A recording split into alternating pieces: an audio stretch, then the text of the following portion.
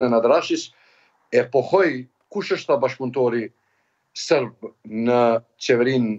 Kurti dhe kënë ka kryeministri Kurti bashkëpunëtor prej serbëve përveç Goran Rakiqit, një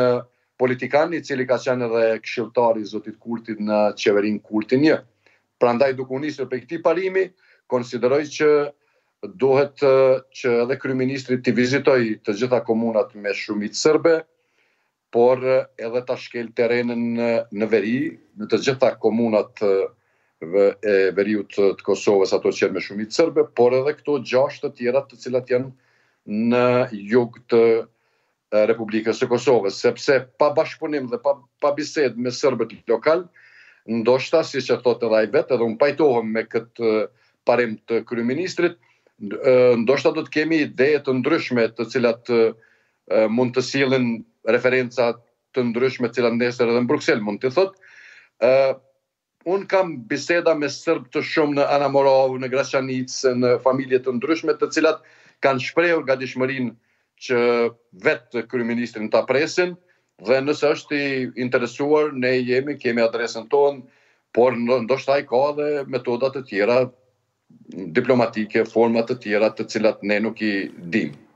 Tani që e përmendët zotin Rashiq, ai është njëri ndër politikanët që Kryeministri Kurti kishte bashkëpunim me të, por dje kishte reaguar edhe ai duke thënë që Kryeministri nuk po bën kurrfarë lëvizje sa i përket dialogut e asociacionit dhe çka mund të ndodhë nëse Kryeministri e humb mbështetjen edhe prej këtyre serbëve që nuk janë në ndikim të Listës Serbe? Është gabim i madh nëse ne lejojmë që edhe ky 10% i serbëve të cilët nuk janë me Listën Serbe, t'i lejojmë që t'i përqafojë Lista Serbe edhe ata dhe të bëhen 100% që votojnë Listën Serbe. Prandaj, konsideroj që edhe kryeministri Kurti, edhe zëvendëskryeministri Bislimi,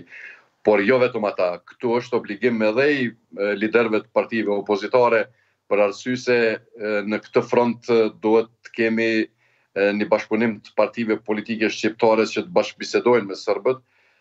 Ne, unë e them me bindje të plotë që Tek serbët në Kosovë është një homogjenizim i jashtëzakonshëm me idenë e Listës Serbe dhe po e ripohoj edhe një herë, dikush prej zori, dikush për parime politike, dikush pse s'ka hall pa u pajtu me ta,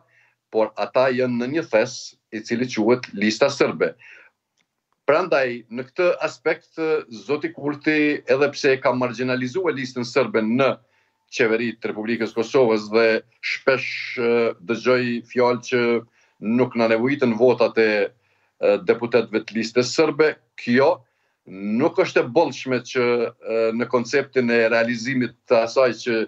ka të bëjmë me çështjen ndëretnike në Kosovë, të lejojmë që kjo çështje të të të të marrë një farë kanalizimi të çështjes që serbët të vendosin vetë për veti, por duhet sepse nëse zogun e lëshon nga dora, atëherë e merr dikush tjetër, e në këtë rast e merr Serbia, siç e ka marrë. Ne duhet patjetër që këtë çështje ta bëjmë pak ma akute, të jemi ma me aktualitet me ta dhe të kemi vizita të përhershme nëpër komunat me shumicë serbe, sepse nëse këtë nuk e bojnë qeveritarët, atëhere do ta bojë dikush tjetër. Dhe prandaj kemi probleme me me me serbët lokal sepse nuk ka komunikim. Këtë e them me bindje të plotë që nuk ka komunikim ë me ta, andaj ata dhe veprojnë në këtë formë. Edhe një pyetje, zoti Sheholli, nëse do të mundeshit shkurtimisht, a mendoni që ndonjëherë ndikimi i listës